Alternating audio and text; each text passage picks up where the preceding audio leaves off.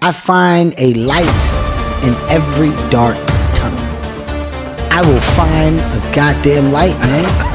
To those who have everything, more will be given. From those who have nothing, everything will be taken. It's like what's very pessimistic in some sense because it means that as you start to fail, you fail more and more rapidly. But it also means that as you start to succeed, you succeed more and more rapidly. So every day, at the same time, you sit down in front of your keyboard and you start working. Mm-hmm. And just put in the work, put in the work, and force yourself to do it. Force it like a muscle, like the same muscle that you develop when you go running every day. And then you get to the point where, like seven days in, you start fucking feeling good running. Right. Right. So you start to feel like you're good at it. You start feeling like you're getting better Yeah. because you're putting in the time. But there's a humility in determining what it is that the wretched creature that you are can actually manage. Aim low. And I, I don't mean don't aim, and I don't mean don't aim up.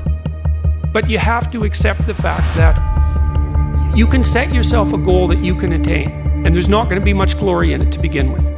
Because if you're not in very good shape, the goal that you could attain, could attain tomorrow isn't very glorious. But it, it's a hell of a lot better than nothing, and it beats the hell out of bitterness, and it's way better than blaming someone else. It's way less dangerous. And you could do it. And what's cool about it, a voice in your head that wants you to do nothing.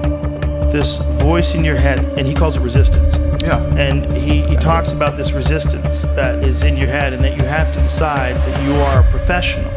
This is what a professional does. A professional goes to work and they they they give in to the muse. Okay, the concept of the muse, whether or not it's real, but the concept of the muse is you settle in and receive creativity almost like as a divine gift from this magical entity, the muse. Now, whether or not it's real is not important. What's important is, it, is if you treat it as if it's real, it does work. And what works is if you dedicate your time and your focus, like realistically, with a professional, disciplined effort to creativity. You show up every day like a professional, but you show up to be creative. If you just do it on a regular basis, ideas will come to you.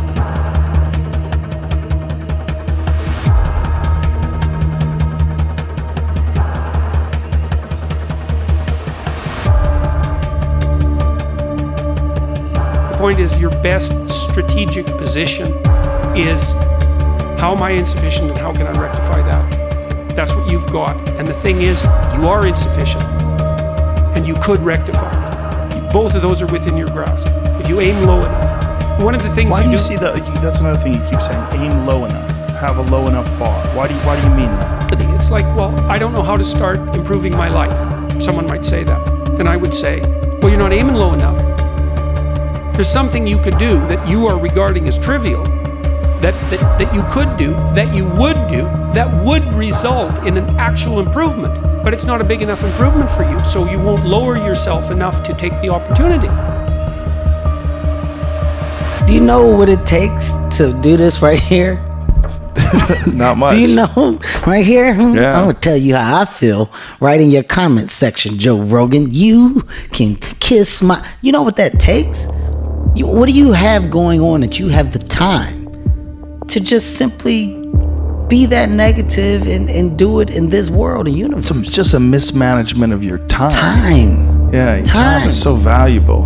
And and I, I don't think people understand how valuable they can be if they use their time correctly. As you said, people focus on failure and negative and anger. That's what we want to see. controversy. That's what we want to see. People Yeah. want to see the anger. Yeah. And and you know where Why do you think that is? because it's just the times. It's it's that's what's cool now.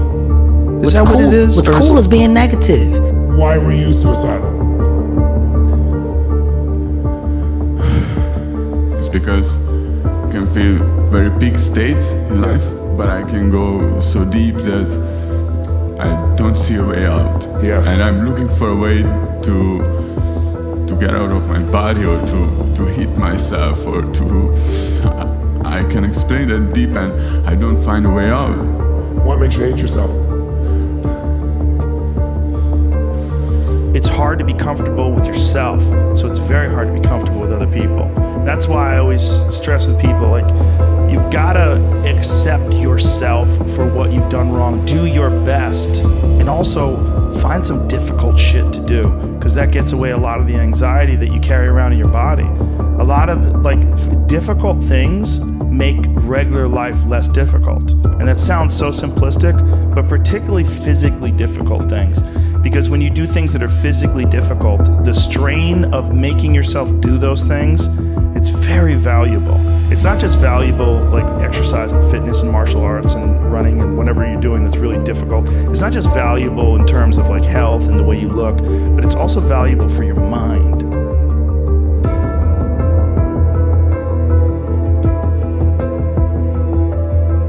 And most people overestimate what they can do in a year, and they underestimate what they can do in two or three decades.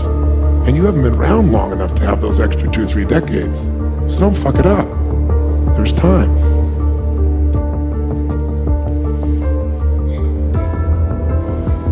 And if you give yourself just a little bit of time, and if you'll be a little more loving to yourself, I think you're gonna find you got a lot to give. I can fucking feel it.